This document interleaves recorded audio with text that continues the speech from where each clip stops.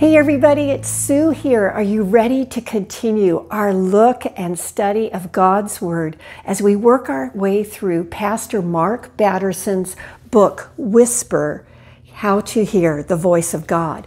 This week we're in chapters six and seven, and what we're doing is continuing into the seven languages that God speaks to us through, the seven languages that Mark felt led to write about.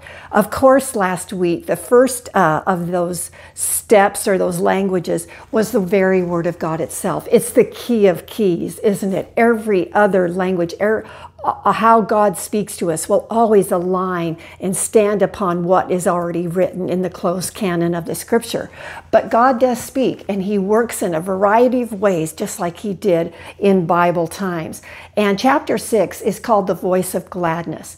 This is the voice or the language of God's desires. It is based on one of the most beautiful promises in the Bible, and that's Psalm 37 4. Delight yourself also in the Lord, and he shall give you the desires of your heart. Now, what's so key about this verse is learning to delight in the Lord. We have tons of desires, but our desires can lead us astray. And but many times those desires are God-given desires, but still because we're so uh, got our eyes, eyes off the Lord and thinking things have to look a certain way or that's got to be this way or the highway or it's got to be now, we can completely miss what God wants to do. So there's several premises that God, uh, or excuse me, Mark brings out, but God brings out in His Word, is that delighting in Him, delighting in God, in the Lord Jesus, the power of the Holy Spirit, worshiping the Father. That is the chief end of our lives. The Westminster Shorter Catechism says um, the chief end of man is to glorify God and to enjoy Him forever. And let me tell you about that didn't happen for me. I've been a Christian almost all my life. I'm almost 70 years old. It didn't happen for me really until about 20 years ago when all that mattered in my life was knowing Jesus and the power of his presence, to have his word come alive in me. Simply, literally, just being with him. And when that happened, uh, I had many, many desires before them, and some of them were from God. But because I had my eyes off the Lord and trying to do things in my flesh, they were never working out. But when Jesus became, and I'm not perfect in this, my full enjoyment and that I just live for your presence, I live for you, not what you can do for me, then God was delighted to give me my desires because I was walking in greater health. I could handle those wonderful things that He had put in my heart that He wanted to do. Um, but it all goes back to Jesus and living in that secret place with Him and waiting on Him, letting Him transform us. And let me tell you, like I said, layers will come off, and those deep things that God has put in our heart will come forth, and He was willing and wanting to act upon them.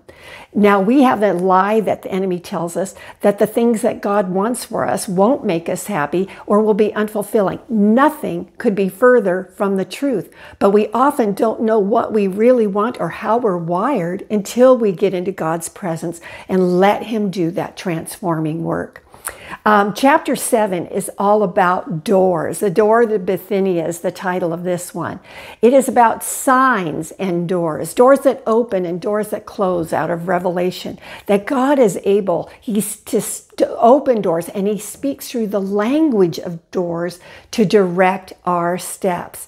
But we need, and this is what Mark brings out to us, we need discernment in the power of the Holy Spirit to discern what doors we need to walk through or should walk through or God's calling us to, and what doors we shouldn't. Because not God doesn't close every door. He wants us to rely on Him completely. And some open doors doesn't mean they're God's doors. And I want to tell you, anything less than God's doors is going to be way less than what He has planned for you. So, this is where, again, it goes back to intimacy with God, hearing His voice, leaning into His whisper, which we have been talking about, silencing the noise of our phones and our activities enough to say, Lord, what are you speaking? Determine what doors are you opening.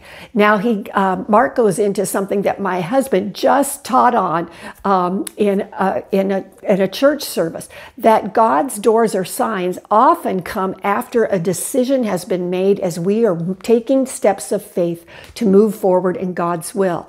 In other words, God is putting something in our heart and He's asking us to believe for it before He gives us a sign or a door to confirm it. And most of the time, not always, that it happens that way. Rarely does a sign or a door necessarily precede what we're supposed to walk through. And so signs confirm, doors confirm. Now I want to give an example. I'm going to close with this. God has timing for closed and open doors. I've had a desire in my heart to go to the Middle East to a closed country.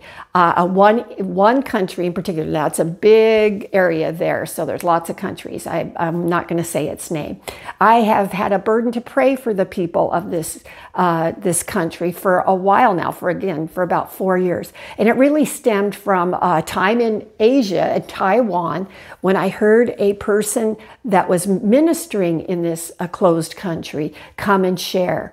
And she had actually invited Randy and I to come. But you know what? The doors just never opened. And I tried to force that door open, and it was just absolutely closed shut. And so, just about uh, four or five months ago, or I, actually less than that, probably about two months ago, I met with a friend, just a normal, everyday friend, not, you know, anyway, I'm just going to say that. And um, she was t- uh, organizing a mission trip to this very country. I had no idea. And I was asked to go. Now, this time the door is open and I'm walking through it. So, all that to say, let's keep our eyes on Jesus. Let's walk in intimacy. Let's walk in faith. God bless you guys, and I'll see you here next week.